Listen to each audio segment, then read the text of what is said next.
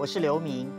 台湾有一百多万的身心障碍人士，我也是这一百多万人中的其中一人。我有一个梦想，我想为身障人士打造一个圆梦的舞台，让更多人看见他们在舞台上发热发光，跨越障碍，展现才艺。欢迎大家收看《圆梦新舞台》。时间会无情的往前走，却不会辜负持续努力的人。黄玉婷，六百公克的巴掌仙子，长大后立志成为轮椅上的哲学家。走过霸凌的阴影，第一志愿她选读哲学系，探索自己，体悟人生。未来也希望用所学帮助他人。郑成谦。七岁时，一场感冒发烧让他昏迷了一个月。奇迹苏醒后，走路说话都得从头练过。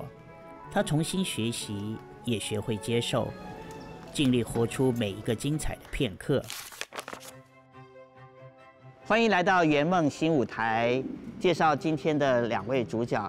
第一位呢是立志要成为轮椅上的哲学家，欢迎玉婷。是大家好，主持人好，宇轩好，陈谦好，我叫玉婷。这么有礼貌啊，每一个都问候到哈。好，再来介绍呢是化心动为行动的实践家，欢迎程谦。大家好，观众好。是，今天我们啊，我们请到的特别来宾是美女哦，她从歌手到演员。而且呢，还入围过呃戏剧的女配角。我们欢迎林宇轩。大家好，各位观众朋友们，大家好。那接下来就是三分钟的生命故事分享。玉婷先。二十八年前的这一天，玉婷的爸妈迎来六个月大就急着报道的超级小女婴。那是巴掌仙子啊，这是一个巴掌而已啊。她出生在爸爸手掌这么大，那一般大概肚皮都透明的，那她的其实很多器官都还没长成熟。从此，妈妈顾不得家里的事业，带着玉婷尝试各种复健。应该说，他从一岁就开始做复健。他复健不单单是医院，呃，我们一个礼拜跑三场，就大家针灸，反正只要人家觉得哪一样对他比较有利，我们就都跑。对，所以其实那时候复健在黄金时期算蛮积极的，在做复健呐。阿弟，你帮我把那个拉过来。好。家里也总是备有运动器材，连房间分配，妈妈也格外用心，让玉婷把复健当日常。其次是我想要让她走楼梯，走楼梯，因为你平常如果在一楼，你叫她说，那你。去楼梯附近一定不可能。那你在楼上的话，他势必就是要上上下下。我也希望他跟正常人过的生活一样。这平凡的愿望，道尽为人父母的爱。因为玉婷知道爸爸很爱她了，那她一定心里很知道了。因为他做做什么事情，我都非常支持他。有时候妈妈不支他不支持他的，还是我支持他的。知道爸妈把自己握在手心里，好不容易拉拔长大，玉婷心里充满感谢。我觉得爸爸妈妈对我在复健的部分还蛮严格的，所以其实对我现在来说，我觉得还蛮感谢他们的，就是生活自理都还不错，然后也可以自己到处开着轮椅到处走。玉婷把这一份感谢化作行动，准备考研究所。也尝试找工作，有机会也当志工回馈社会。嗨，我就要来帮忙，可以帮忙什么？今天你帮我弄一下发票整理。有时候是自己上网找，啊，有一些就是朋友会 pass 给我，然后有一些就高中老师就是提高的机会的。现在这这只有去那个富邦人寿面试，就刚通过。蓄势待发的人生，玉婷努力迎战。大家好，我是黄玉婷，今天很高兴来到大爱电视台。别看我现在营养很好，我出生只有六百公克，是名副其实的八爪仙子，只有爸爸的手掌这么大。当时在保温箱住了四个月，出生时被医生诊断为脑性麻痹和癫痫。在六岁的时候，我我因为张力的关系开了背神经手术，九岁时开了两次的髋关节手术，而这两次的手术让我长久以来努力复健成果都化为泡影，这让我还蛮沮丧跟挫折的。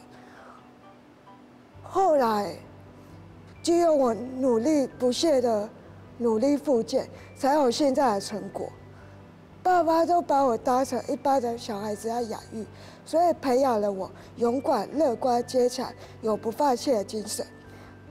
对我来说，一直以来我都秉持着一个信念：什么都可以输，就是不可以输给下法，来完成所有的事情。在大学时，我自己规划了和朋友三天两夜的花花莲旅行，从一开始的找住宿地点到行程的规划，都是我一手包办。这让我了解到，原来，原来我要完成一件事情并不是那么的困难，也让我更加坚定了，原来什么都可以输，就是不可以输给想法这个信念。在大学毕业时，我曾经参加义务张老师的培训，一周有三天必须爬楼梯，三楼到四楼，这还蛮辛苦的。不过我内心却是很满足和开心的。因为我知道，我未来的目标是想要成为一位心理师。我希望能帮助和我过去一样有类似经验，或是为对自己未来感到迷惘的人。所以我希望现在能多多培养自己更多不同的能力。谢谢大家。哇，你讲的好好哎啊！你刚才有提到说你有癫痫。嗯。万一在录影当中很紧张、癫痫发作的时候，那成千，你可以帮忙他做人工呼吸吗？一定可以的。哎，那是错误的，好不好？癫痫不是用人工呼吸啦。教观众错误的知识啊。对嘛哈？对，好。嗯，好。那接下来轮到成千。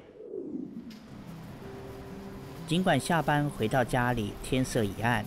但只要生意上门，成坚总是很乐意的当起妈妈的水饺配送员。喂呀。阿姨。哦，程坚呢？您的水饺。谢谢你等我一下。好。陈坚，那你最近好吗？除了好邻居，假日时程谦还会送得更远。我只能坐公车或捷运送。然后旁人带去送，如果量大的，我会拿推车去。就要上班下班呢。我们是家里的一份子，如果有需要，我们要帮忙做家事。洗米煮饭、打理家里，尽管动作比较慢。成千努力学习，会让我煮饭，但不会让我用到火，因为用火的话会有危险。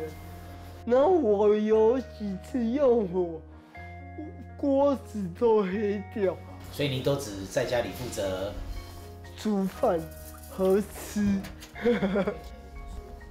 大学念数位媒体系的成千。正运用所学替脑麻协会剪辑活动影片，未来他也不排除做一位称职的 YouTuber。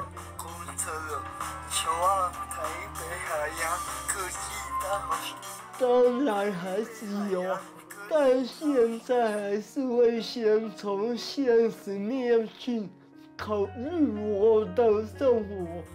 如果自己都喂不保了。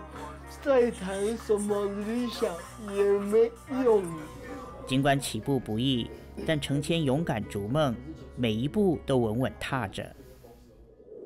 大家好，我是郑成千，我是脑性麻痹，我是属于后天的，不是天生。十七岁以前，我能跑能跳能说话。十七岁那年。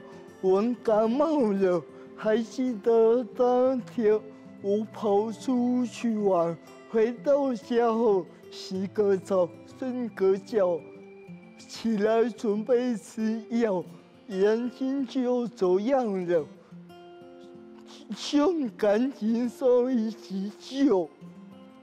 医生说要醒过来得依靠奇迹，于是奇迹出现了，在我住进一个月的时间。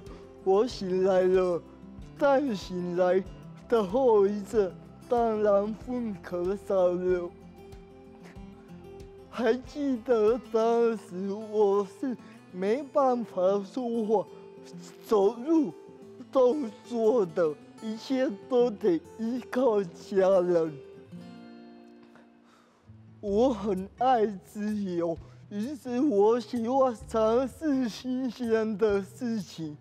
我就去做了自工、摄影、参与活动、挑战极限这类的活动。我第一次参与脑麻夏令，就是脑性麻痹协会所办的。那时候也认识到协会的不同，我就去帮去做了自工。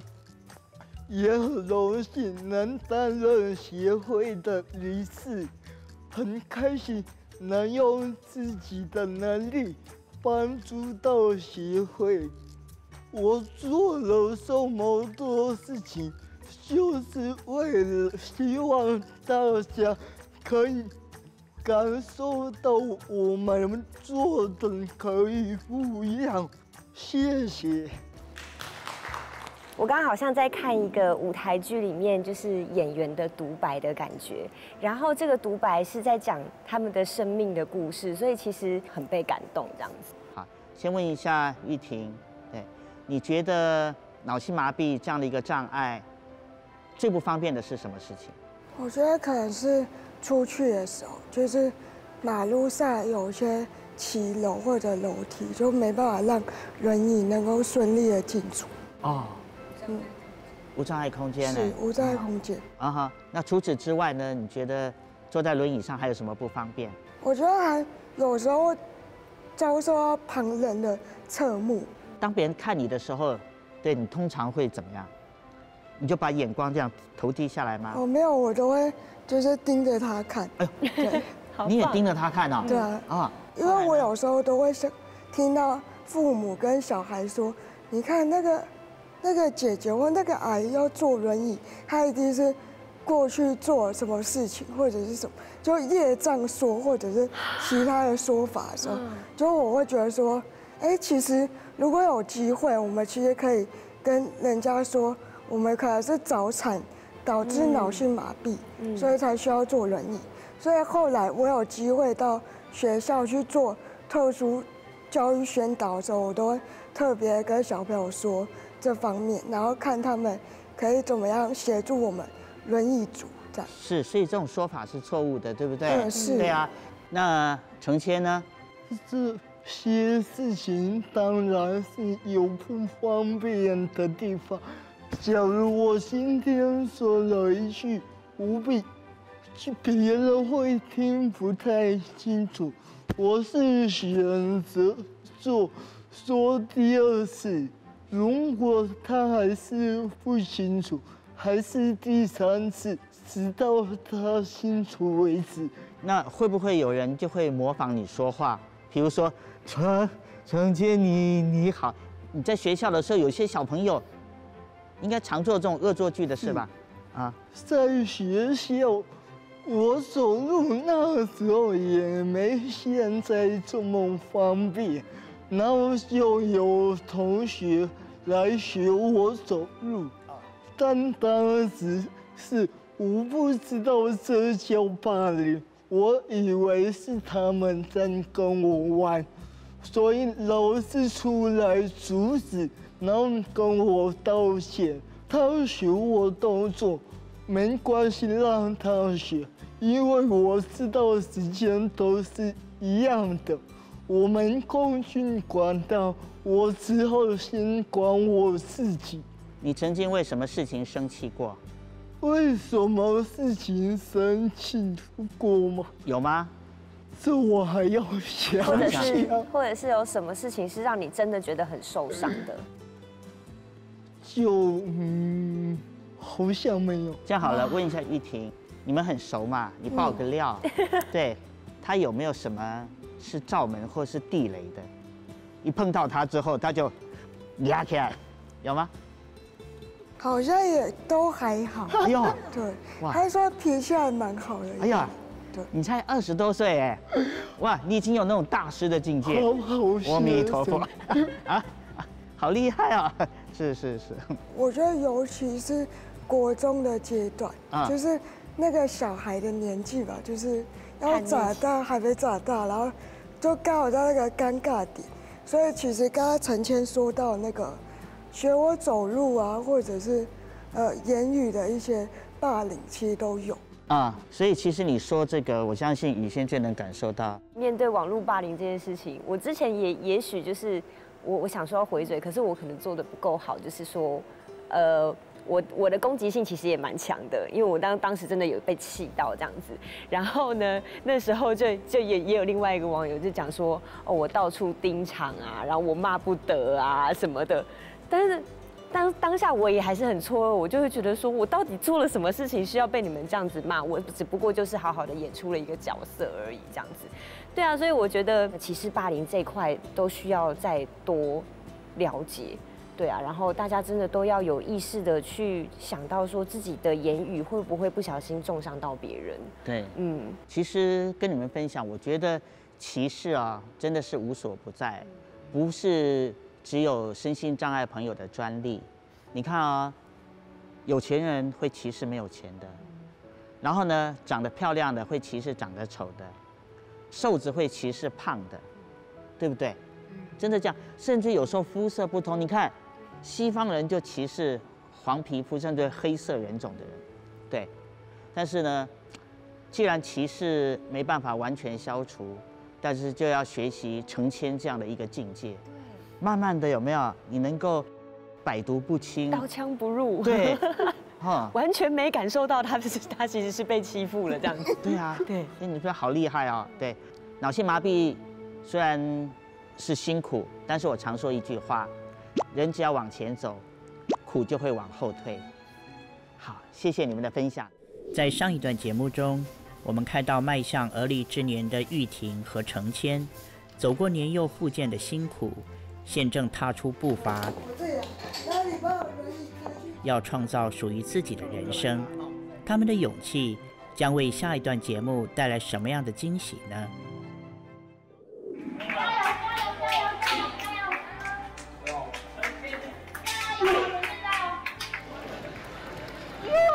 一年一度的全国地板滚球大赛，程谦总是不愿错过。好了，怎么了？这一场，程谦担任蓝队队长，丢出暖身的第一球。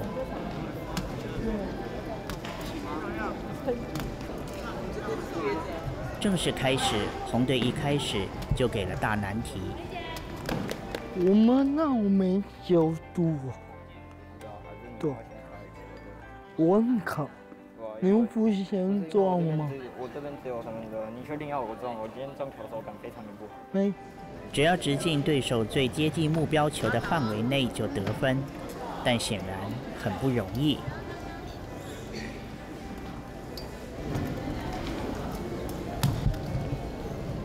这场冠亚军争霸赛，程谦和队友都卯足了劲，却平吃败仗。他很久没来练了，因为他要工作了，不能怪他。可是，在比赛的上一个礼拜，他有来练，他有来练习，不像我们每个礼拜都会来练习，所以他久久练习的话，我们就看出他的那个退步了。以前很好啊，他常常神来一球，常常救了那一局。尽管程谦今天手感不佳，教练还是赋予重任。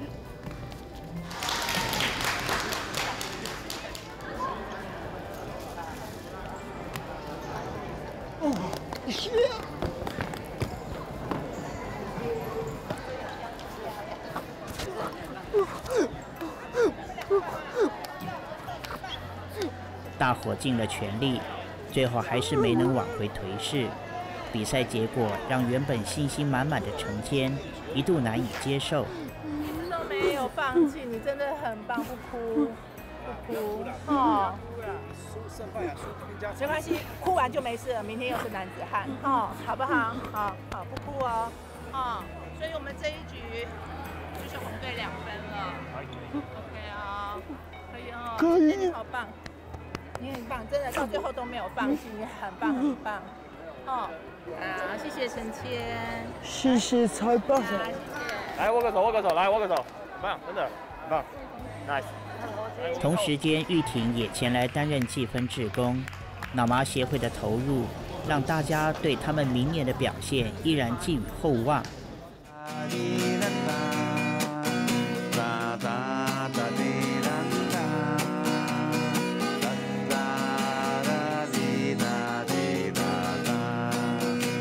和陈谦都是脑麻歌唱班的创始成员。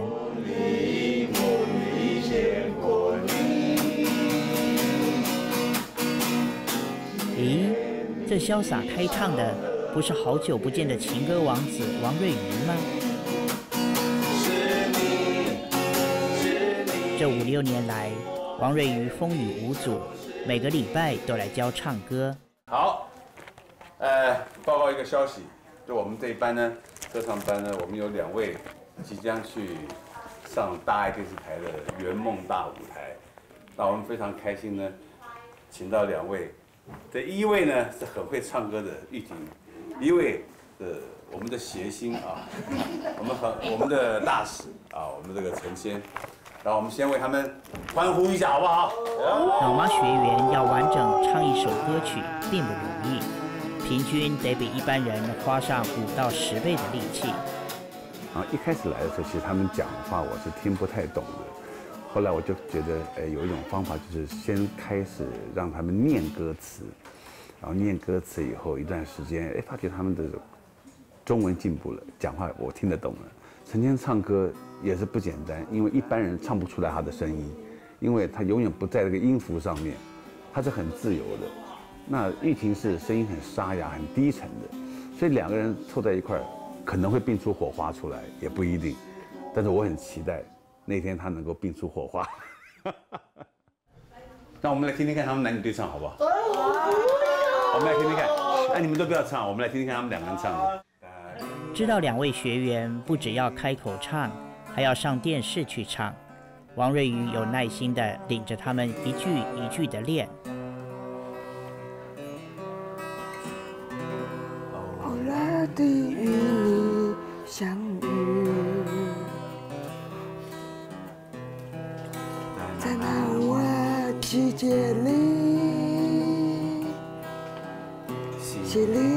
充满了你。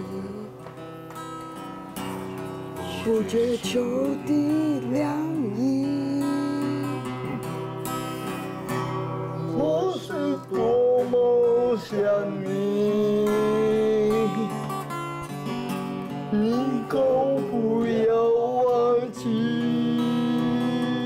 我觉得如果就是没办法碰到面的话，可能就是用电或者是就先找一个版本，那就彼此先练一下。然后，把礼拜四到现场，可能再互相的再轮一下。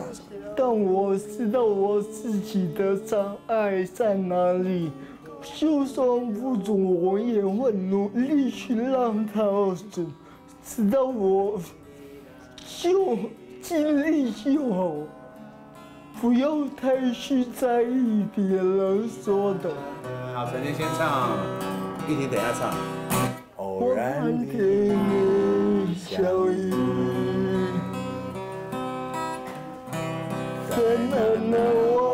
从决定曲目到登台，短短不到一周。当时有耳机之类的吗？啊，会可以有耳机。那就还好，对，就不要太担心了。有。从此玉婷家处处有歌声。你就思念着你，我是多么想你，你可不要忘记。耶，很棒很棒，你好定了，加油。往日的甜蜜回忆，多么想你，你可不要忘记，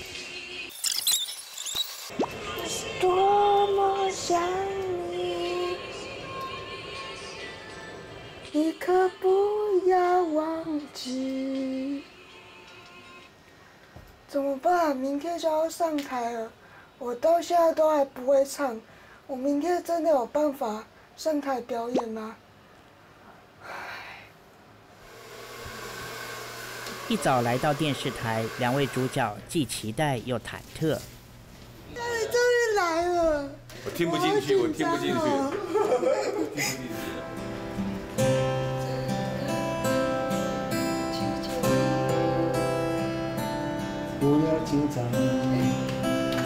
我跟你讲，你不要紧张。录影当天，王瑞瑜挪开了原本的钥匙，特别来陪伴紧张的玉婷。瑞宇老师在化妆间不断的反复叮咛练习，并且还答应为他们现场伴奏哦。赶紧来看他们精彩的表演吧！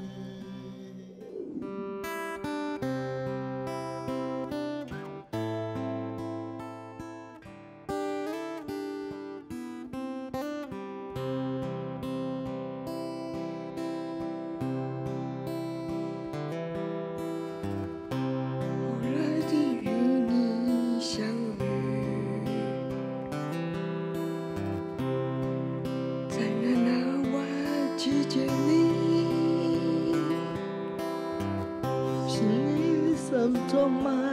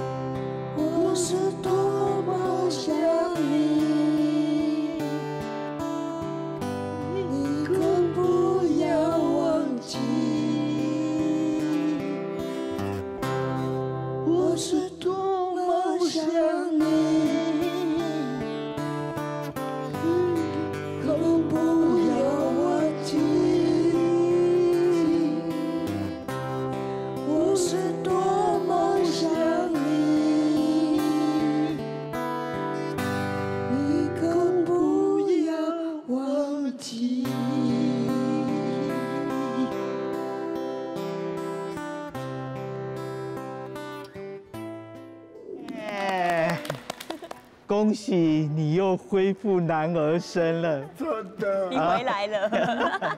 你喜欢当男生还是女生？哎，我怎么不知不觉学起你说话，这样好有一点歧视 啊！好，你喜欢当男生还是当女生？当男生比较好。啊，习惯了啦，哈，嗯是。那宇轩要不要针对他们两位的歌唱，给他们一些呃，因为你也是歌手出身的嘛，对，来密切回馈。我刚刚啊，就是都看到你们两个人各自在对自对方说话，然后那种对话的感觉很棒，然后我也很喜欢你们有每个人的心情跟那个就是层次都不同，然后很有感情，我觉得很感动。不知道宇轩有没有可能也唱一小段歌，跟我们一起分享，好不好？好，你赶快掌声鼓励啊！天天想你，天天问自己，到什么时候才能告诉你？天天想你，天天守住一颗心，把我最好的爱留给你。哇，好棒，好棒，好棒！太棒，太棒了，是。嗯来问一下程谦，对，听说你有当过 YouTuber 啊？有啊，有。那你的内容是做什么？我基本上都是生活的，啊，生活拍摄。那你希望透过你的影片，有没有想要传达什么？就是传达我们生长者，或许大家认同我们只能在家，但我想做的就是颠覆大家的想法。我们可以做的跟你们没什么不同，只是我们会比较不方便。嗯，只要对的方法，我们一样可以做得到。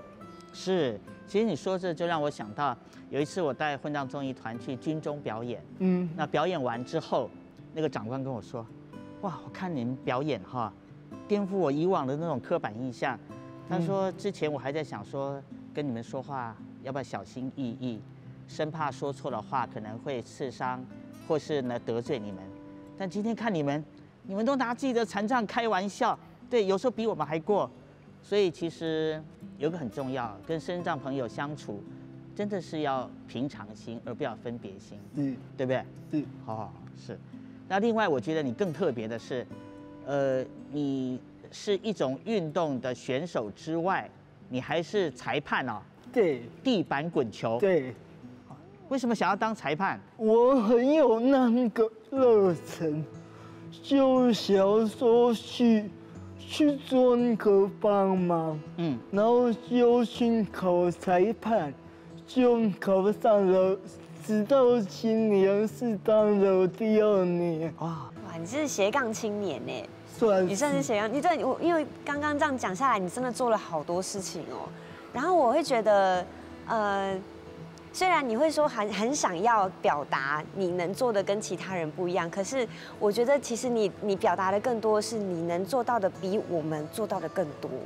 嗯，因为其实 对，就是我嗯我们我们可能手脚正常的人会觉得很有时候会被自己的心限制住，但是我觉得你们因为因为嗯就是资源不多，可是你们越是在这样子的状况下，越是想要。想要去表达，想要去做这些你们认为应该要做的事情，我真的觉得很棒。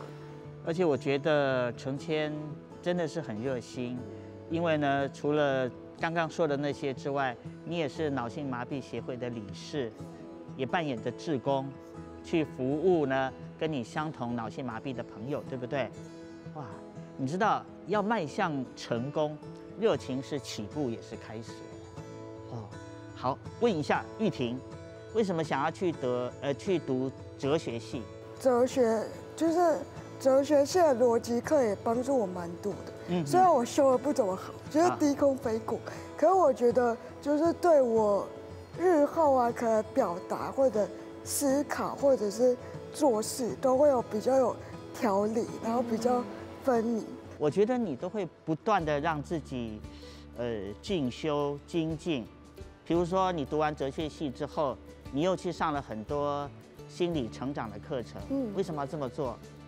为什么这么做？其实一开始，我我的动机其实也是无心插柳所造成的。那我就查过这些老师的过往的经验，然后资历什么。哎，主要我是看那个照片，觉得老师还蛮可爱、和蔼可亲的，这样我就想，好，那我就去试试看。可是觉得我有有一点很害怕，就所以我就拉了我朋友一起去，所以我找了大概四五个朋友，所以我们就组一个团，然后一起去上课这样。是你选课，原来是看老师的颜值啊？对，如果雨仙是老师的话，你一定马上 OK。对，我在选他的课，对老师是带了一堆人去。哦，是是。那不管是哲学系，甚至于心理成长的课程。应该对于你能够面对自己的残障、接受自己的残障，会有很大的帮助吧？嗯，对，的确。可是我觉得心理方面就是帮助我会更多。嗯，就是哲学方面，你可能只是去思考说，哎，背后的一些比较深层的意涵，比如说为什么是我，为什么不是别人，或者是哎，为什么我会遇到这样的事情？是。对，我可以去，呃，反思，或者是用不同的角度去思考，嗯，整整件事情。我曾经在广播节目里面访问一位正大心理系的教授，然后他本身也是一位身障朋友，拄着双拐。后来我就问他说：“对，你觉得哈，念心理系带给你最大的收获是什么？”哇，他说了一句话，到现在呢我还记忆犹新。他就说，念心理系，对，是让我学会了如何跟这一双拐杖和平相处。是，我觉得我也是。所以你现在怎么看待你自己的残障？我觉得我读了心理系之后，就是我会回头去看我可能过往被霸凌的经验，嗯，或者是过往被呃路上路人不友善眼光的那些经验，然后我会就是用不同的态度去面对。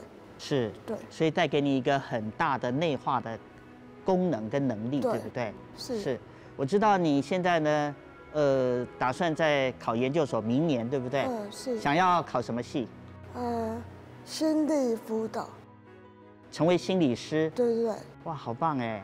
问一下程谦，你对自己未来的一个心愿是什么，或是愿景？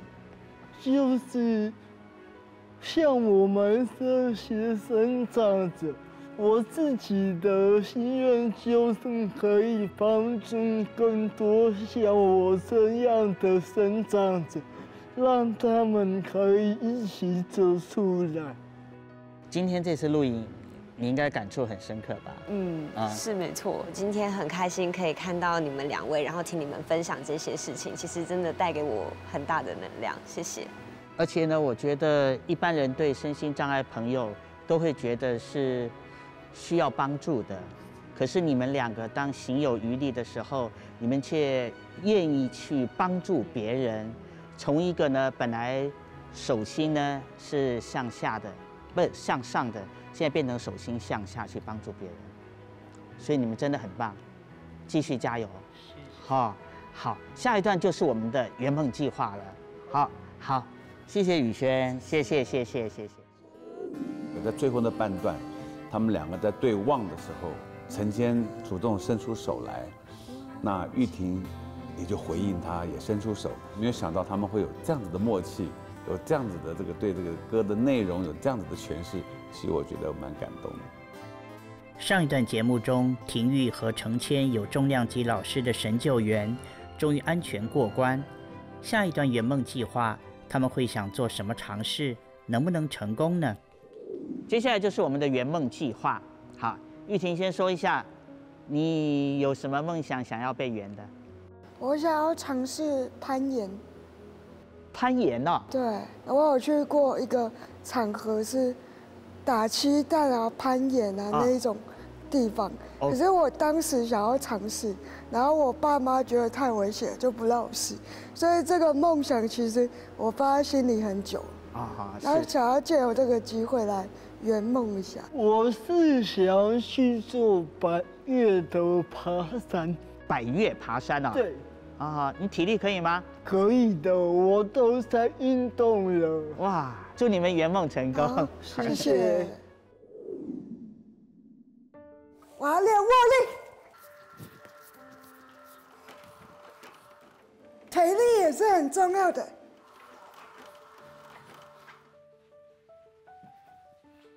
核心也是很重要的。为了人生的第一攀，玉婷拼了命的练习。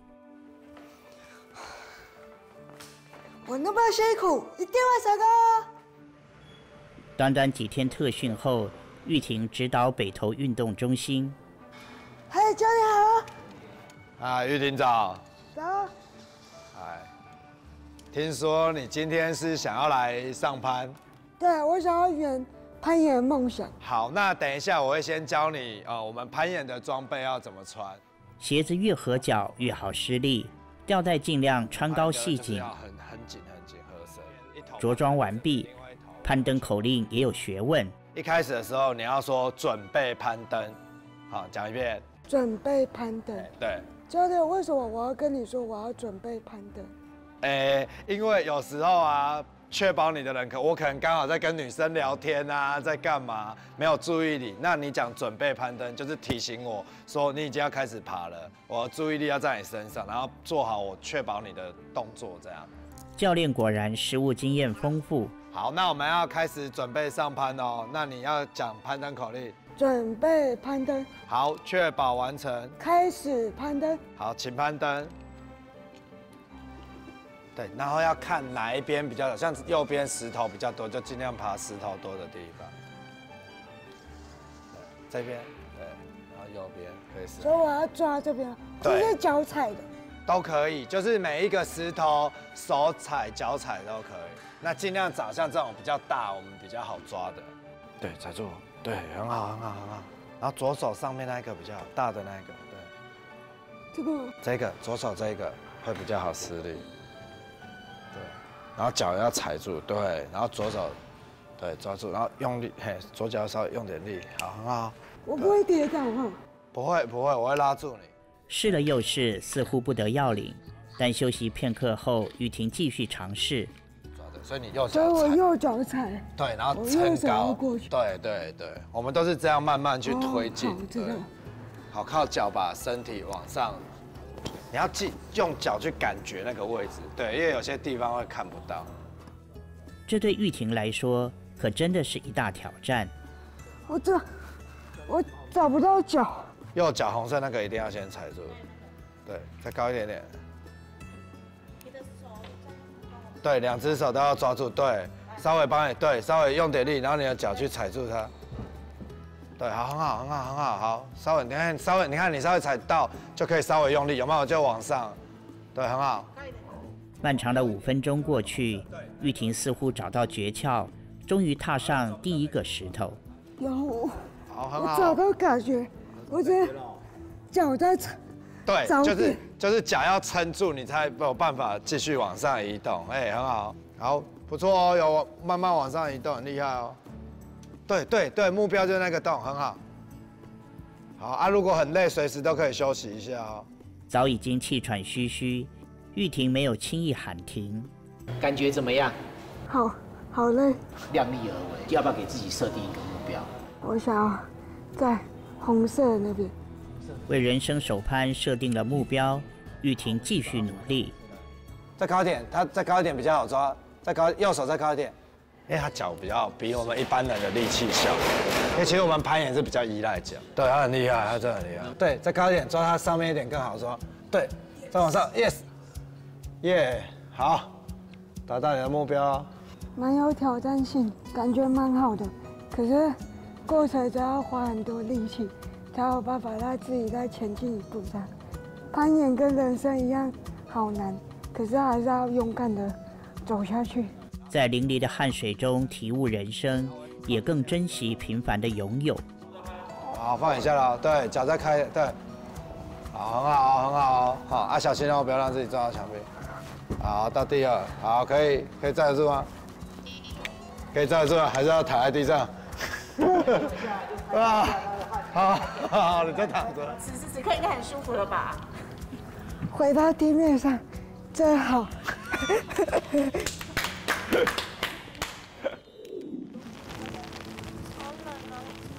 今天来到七星山，虽然下着雨，但我们还是要爬上去。风太大了，我们就不说这么多了。我左右有两位美女，这位是玉婷，我倒是学妹，然后这位是姐姐。一二三，跳跳跳！我练成功。成千的自我挑战，难度也不遑多让。没有在那么冷的天气，风那么大，雨这么大的天气来爬。冬季的台北等不到晴天，寒风斜雨中，一行人套上雨衣出发去。你有看过七星山的影片吗？没有。前面两百公尺比较陡了，后面还有。哦，好陡，还是会冷了，只是没这么冷。手还是像迪亚兵一样，整个是红色的。红色的。对啊。你是中奖了。我真的觉得我应该中奖了。七星山海拔一千一百二十公尺，是台北市第一高峰。山上东北季风呼呼作响，体感不到十度。啊，好陡！不用，没爬过这么陡的山，之前有爬一山，呃，不是一山，是下山，下山有扶梯可以扶，比较不会这么吃力，而且今天风雨交加，所以更难爬。为什么现在今天呢？你要小心哦，注意安全。好，我会很小很小心的。越往上走，风雨越大，沿途几乎没有其他登山客。我也遇到跟我们一样的。耶，零点八了，这里是。耶，一半了哎。一半了哈。对。你还记得全长多少吗？一点六。Go！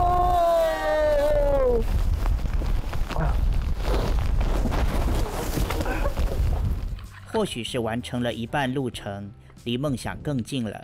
开心的成千有点大意，跌了个跤，幸好没有受伤。脚真是有点歪掉。所以你其实爬山很辛苦，对不对？对。你都还要特别哪里要用力吗？嗯。哪边？腰。还走吗？还走，还走，加油加油！腰紧吗？可以。最后两百公尺，成千没力气了，但他坚持，就算用爬子，也要爬到登顶。在两位友人一路的陪伴扶持之下，历经两个多小时的凄冷风雨，成千终于迎来这热血的一刻。让你先走。耶！我们到顶端了。啊啊！呃，身心障碍者就是有点限制嘛，但是陈在陈谦的身上，你不会觉得他有把限制放在他的生命里面，内心很温暖，然后非常的感动。我们成功了，然后尤其是看到陈谦很努力的爬上去，就是呃。就是有点想哭，因为太冷，哭不出来。就希望可以自己让自己爬得越来越高，不管是人生啊，还是其他事业上，希望可以看得更高一些。我在神前，我想立住本任了，愿我到成功。